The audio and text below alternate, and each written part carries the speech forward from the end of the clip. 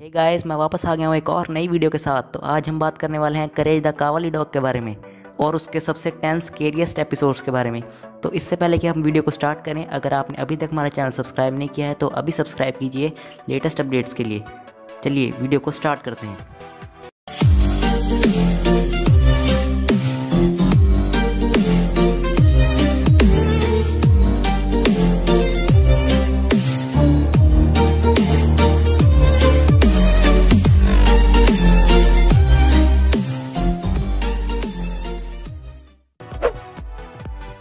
इन city तो दोस्तों, इस एपिसोड में क्या होता है कि म्यूरियल कुछ कॉन्सर्ट्स की टिकट्स लाती है, जिसमें यूस्टस और करेज को भी साथ जाना होता है। म्यूरियल उस कॉन्सर्ट में खुद परफॉर्म करने वाली होती है। तो जब वो लोग कॉन्सर्ट के लिए पहुँचते हैं, तब वहाँ पर उन्हें एक गंदा सा खटमल टाइप कीड़ा मिलता है, जो करेज को डराने की कोशिश करता है, और वो म्यूरियल और यूस्टस को रिहर्सल के लिए एक रूम भी देता है।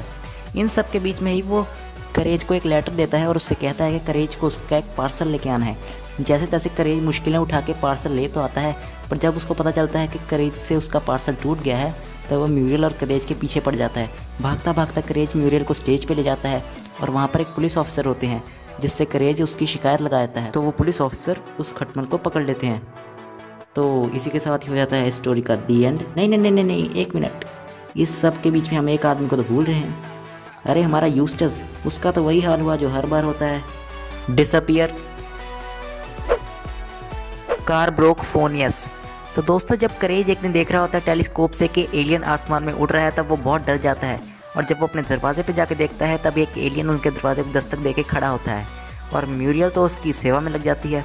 पर थोड़ी देर बाद करेज को इस बात का पता चलता है कि वो म्यूरियल से उसकी अच्छाई लेने आया है। तभी करेज बहुत ज़्यादा कोशिश करता है दरवाजे को तोड़ने की, पर उससे दरवाज़ा नहीं टूटता। अंत में म्यूरियल ही करेज का दरवाज़ा खोलती है, क्योंकि तब तक वो एलियन म्यूरियल की अच्छाई लेके वहाँ से जा चुका होता है। तो इस सब के बाद करेज फिर से टेलीस्कोप निकालता है और देखता है कि वो एलियन कहाँ पे है। तो जब उसको पता चलता है कि वो एलियन कहाँ पे खड़ा है, तब वो करेज भाग के जाता है और उस एलियन से सिरप लेने की कोशिश करता है और उससे लड़ झगड़ के सिरप लेके अंत में आ जाता है और म्यूरियल को पिला देता है। पर यूस्टस तो बेचारा फिर से रह गया बिना सिरप के। तो इन सब में मुझे तो बहुत मज़ा आया। आपको मज़ा आया कि नहीं? नीचे कमेंट बॉक्स में कमेंट करके बताना। और हमारे चैनल को सब्सक्राइब ज़रूर करना, ताकि आपको ऐसी और अमेजिंग वीडियोस मिलती रहें। हेड्स ऑफ़ बीफ तो दोस्तों, इस एपिसोड में क्या होता है कि म्यूरियल करेज से कहती है कि उसको अपने लिए एक डोनट चाहिए। तो यूस्टस और करेज उसके लिए डोनट लाने के लिए निकल जाते हैं। तब यूस्टस करेज में करेज से गाड़ी में जाते जाते बोलता है कि उसको डोनट लेने से पहले अपना बर्गर चाहिए। तो इसीलिए ये दोनों एक बर्गर की दुकान पर रुकते हैं। पर वहाँ का भी कुछ डरावना सीन था। तो करेज को पता लगा कि उस दुकान का शॉपकीपर जो है, वो बहुत ज़्यादा डरावना है या उसके दिमाग में कुछ अजीब व गरीब चल रहा है। तो जाँच पड़ताल करता करता वो उसके बेसमेंट में जा पहुँचा, जहाँ पर उसने उसकी सारी बातें सुन ली। तब वो देखकर बहुत डर गया था और हम भी ये देखकर बहुत डर गए थे कि आगे क्या होगा। तो आगे कुछ ऐसा हुआ तो करेज ने वहाँ से अपनी जान बचाकर भागने की सोची। जब तक करेज ने भागने की सोची, तब तक उस शॉपकीपर को उसके बारे में पता चल चुका था। करेज ने यूस्टस को वहाँ से लेकर भागने की कोशिश की, पर यूस्टस तो वहाँ से भागा नहीं, क्योंकि उसको तो अपना बर्गर खाना था।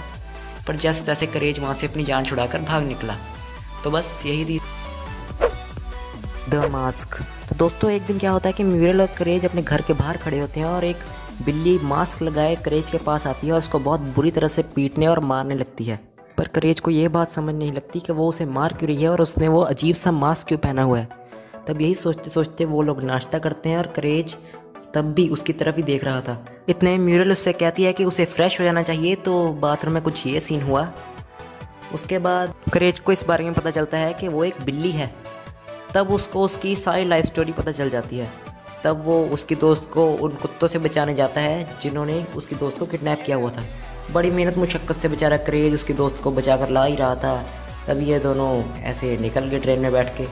तब बेचारे को कहीं राहत की सांस मिली और फिर से जैसे थे वैसे ही हो गए। और फिर यूस्टस ने उस बिल्ली का मास्क पहन लिया। A night at the cat's motel. एक दिन करेज यूस्टस और म्यूरियल एक होटल में रुकने जाते हैं। तब होटल में एक बोर्ड लगा होता है, उस पर लिखा होता है कि डॉग्स आर नॉट अलाउड। तो म्यूरियल करेज को बाहर बाँध देती है। पर उस होटल का मैनेजर कुछ गलत होता है, जो कि एक फॉक्स होता है। उसके दिमाग में कुछ खुराफाती आइडियाज़ आ रहे थे कि इन लोगों को यहाँ से जाने ना दिया जाए और इनके ऊपर कुछ मकड़ियों को छोड़ा जाए। जी हाँ ऐसे, जैसे करेज के ऊपर छोड़ी गई है। तब करेज ये देखकर हैरान हो जाता है और म्यूरल और यूस्टस को वहाँ से लेकर भागने की कोशिश करता है। जब तक करेज ये सब कर रहा होता है, तब तक म्यूरल भी अपने आप को छुड़ा लेती है और इसके बाद ये लोग इस फॉक्स से लड़कर यहाँ से निकल जाते हैं। तो बस इतनी सी इस एपिसोड की स्टोरी। वैसे एपिसोड काफ़ी डरावना था और इसमें बहुत मज़ा आया था। करेज के एपिसोड सुनने में इतने डरावने नहीं होते जितने देखने में होते हैं। इसलिए आप भी नीचे कमेंट करके बताना कि आपने इसमें से कौन सा एपिसोड देखा है और आपको कितना मज़ा आया। तो चलिए, अगले एपिसोड की तरफ़। द हाउस ऑफ़ डिसकंटेंट दोस्तों, इसमें क्या होता है कि म्यूरल यूस्टस और क्रेज एक रात एक फूल को ज़िंदा करने की कोशिश करते हैं, पर उनसे ना हो पाता। तभी कुछ इस तरह की कुछ पैरानॉर्मल एक्टिविटीज़ होने लगती हैं, जो करेज को बहुत बुरी तरीके से हिला के रख देती हैं। तभी उनके घर के बेसमेंट में एक हार्वेस्ट मून की स्पिरिट आती है और उनसे कहती है कि उस फूल को दोबारा से ज़िंदा करो। तब उनके सामने मुश्किल खड़ी हो जाती है कि उस फूल को दोबारा ज़िंदा कैसे किया जाए, वो भी रात में। तो यूस्टस तो इस बात को मना कर देता है। तो करेज को ही बेचारे को कुछ करना पड़ता है। तो करेज उस फूल को कभी ग्लूकोज देकर, कभी कैसे कैसे तरीके से ठीक करने की कोशिश करता है। पर उसकी हर कोशिश हर बार की तरह नाकाम होती जाती है। तभी करेज उस फूल को उठाकर यूस्टस के पास ले चलता है। तब यूस्टस को इतना पसीना आ रहा होता है कि पूछिए मत। तब उसके पसीने से ही करेज फूल को ज़िंदा करता है। और जैसे ही फूल ज़िंदा हो जाता है, तब सारी विपत्ति वापस चली जाती है। और वो हारस मून की आत्मा भी वापस चली जाती है। और सब कुछ पहले की तरह नॉर्मल हो जाता है। तब तब उसी वक्त यूस्टस फैसला करता है कि वो उस फूल को बेच देगा। Demon in the mattress. दोस्तों, एक दिन म्यूरियल एक गद्दे का ऑर्डर देती है। और जब गद्दा आता है, तभी करेज को शक हो जाता है कि इस गद्दे में कुछ प्रॉब्लम है। और जो लोग इस गद्दे को लेकर आए होते हैं, उनसे भी करेज काफ़ी डर जाता है। तभी उसी रात कुछ स्पिरिचुअल आत्मा म्यूरल को अपने कब्ज़े में कर लेती है। और ये देखकर यूस्टस और करेज काफ़ी डर जाते हैं। तभी करेज अपने कंप्यूटर से पूछता है कि उसको म्यूरल को कैसे ठीक किया जाए। तो यूस्टस इस बात को देखकर करेज के साथ देने की कोशिश करता है। और करेज यूस्टस को कहता है कि उसे एक औरत के कपड़े पहनकर म्यूरियल के सामने कुछ मंत्र बोलने होंगे। तब यूस्टस ये काम करने में असफल रहता है। तब करेज ये काम करता है और उसके काम करने से म्यूरल के अंदर से वो आत्मा निकल जाती है। तभी म्यूरल नॉर्मल हो जाती है और उसी वक्त वो आत्मा यूस्टस में घुस जाती है, जो देखकर करेज डर जाता है। तभी म्यूरल ठीक हो जाती है और करेज और म्यूरल यूस्टस को उसी गद्दे में बाँध देते हैं। परफेक्ट। दोस्तों, इस एपिसोड में क्या होता है कि यूस्टस एक पार्सल ऑर्डर करता है और उसमें से एक म्यूजिकल इंस्ट्रूमेंट निकलता है। और जब जब वो उस म्यूज़िकल इंस्ट्रूमेंट को बजाता था, तब तब एक ओल्ड औरत आती थी और करेज को टीचिंग लेसन देने लगती थी। और उस टीचर ने करेज को इतना तंग कर दिया था कि करेज चैन की सांस नहीं ले पा रहा था एक पल के लिए भी। वो रोज़ रात को पढ़ाती थी और कहती थी कि करेज कभी भी ज़िंदगी में पास नहीं हो पाएगा। ये सुनकर करेज डर जाता था और उसके बाद करेज को इस बात का पता चला कि उसे कैसे गायब किया जाए। तब करेज ने अपने कंप्यूटर से जाँच पड़ताल की और उस कंप्यूटर ने उसे बताया कि जब तुम उससे कह दोगे कि मैं पास हूँ और कुछ अच्छी एक्टिविटी करके बताओगे, तब वो अपने आप अपनी जगह से गायब हो जाएगी। तब करेज ने उसी रात वैसा ही किया। तो करेज को अब रात होने का वेट था और जब जैसी रात हुई, करेज ने उसे सही जवाब दे दिया और उसी के साथ वो टीचर वहाँ से गायब हो गई। फ्रीकी फ्रेड दोस्तों, इसमें म्यूरियल का भांजा पागल खाने से आता है और म्यूरियल को इस बात का पता नहीं होता कि वो पागल खाने से आया है। तो जब वो म्यूरियल के घर आता है तो उसे चाय पिलाती है और उससे कहती है कि उसे फ्रेश हो जाना चाहिए। तो जब वो फ्रेश होने जाता है तो यूस्टस करेज के साथ उसको बाहर से ताला लगा देता है और ख़ुद किसी बीच पर जाके बैठ जाता है। तब वो पागल फ्रेंड करेज को अपनी पिछली पास्ट की बातें बताता है और बोलता है कि उसकी एक गर्लफ्रेंड थी। जो कि उसे बहुत प्यार करती थी और वो भी उससे बहुत प्यार करता था। पर बातों बातों में उसने ये भी बताया कि उसे बाल काटने का बहुत शौक़ है, जिसकी वजह से उसने उसकी गर्लफ्रेंड के सारे बाल काट दिए और उन दोनों का ब्रेकअप हो गया। और ऐसी बहुत सारी बातें उसने अपनी लाइफ की बताई करेज को, और साथ साथ उसकी शेव भी कर दी। यही करते करते करेज ने थोड़ी देर बाद उसकी कलाई पर पागल खाने का नंबर देखा और पागल खाने वालों को बुलाया और उसे पकड़वा दिया।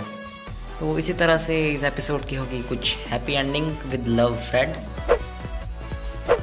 King Ramses curse तो दोस्तों, इस एपिसोड में होता क्या है कि एक शापित आदमी एक पत्थर के पीछे पड़ा होता है, जो कि पत्थर करेज के घर के बाहर दबा हुआ होता है। तो करेज उस पत्थर को लेकर आता है और यूस्टस को देता है। तब यूस्टस उस पत्थर को खिड़की से बाहर फेंक देता है। तब उसको पता नहीं होता कि इसकी क्या अहमियत है। जब वो टीवी पर खबर देखता है कि ये पत्थर बहुत महँगा है, तब वो उस पत्थर को अपने पास रख लेता है। तभी उस रात वो शापित गुड़िया, तभी उस रात वो शापित आदमी उनके घर के बाहर आता है और यूस्टस से वो पत्थर माँगता है। पर यूस्टस ने उसे वो पत्थर नहीं दिया और उससे कहता रहा कि तुम मुझे क्या ऑफ़र देते हो? तभी मैं तुम्हें ये पत्थर लौटाऊँगा। और ऐसा कहते कहते उस आदमी ने भी बताया कि अगर तुम मुझे पत्थर नहीं दोगे तो तुम, तुम्हारे ऊपर तीन बड़ी विपत्तियाँ आएँगी। तो यही करते करते उनके ऊपर तीन बड़ी विपत्तियाँ आने की शुरुआत हो गई। तो सबसे पहले उनके घर पर एक सुनामी आई। जिससे कि उनका घर पूरा भर गया पानी से और उन्हें अपने घर के ऊपर जाना पड़ा। ऐसा करते करते ही ये विपत्ति ख़त्म हुई और फिर भी यूस्टस ने पत्थर नहीं छोड़ा। तो ये अब इस बार भी करेज ने उन्हें इस प्रॉब्लम से बचा लिया। तो ये प्रॉब्लम ख़त्म हुई, एक और बड़ी विपत्ति आई। तो अगली विपत्ति एक ग्रामोफोन की वजह से आई थी, जो कि उनके घर के बाहर एक पत्थर के पीछे पड़ा ज़ोर ज़ोर से बज रहा था, जिसे करेज ने बंद किया। बंद नहीं किया, सॉरी, तोड़ दिया और उसके बाद लास्ट विपत्ति आई कुछ कीड़े मकोड़ों की। इसके बाद कितने सारे कीड़े मकोड़े झुंड बनाकर आए और उनके घर को ऊपर से घेर लिया, जो कि हम कह सकते हैं कि पूरी तरह से खा ही लिया, एक तरह से। उसके बाद भी यूस्टस ने वो पत्थर नहीं छोड़ा, पर करेज ने उसके हाथ से छीन कर वो पत्थर बाहर फेंक दिया। और उसके बाद वो यूस्टस फिर से नहीं टला और उस आदमी से पैसे मांगने लगा उस पत्थर के। तो उस आदमी का श्राप यूस्टस पड़ गया। और वो आदमी उस पत्थर से गायब होकर मुक्त हो गया और उसके बाद यूस्टस उस पत्थर पे छप गया, जो कि हम कह सकते हैं कि यूस्टस को उस आदमी का श्राप लग गया। तो चलिए दोस्तों, अगर वीडियो अच्छी लगी हो तो सब्सक्राइब ज़रूर कर देना, लाइक कर देना और बेल आइकन को ज़रूर दबाना।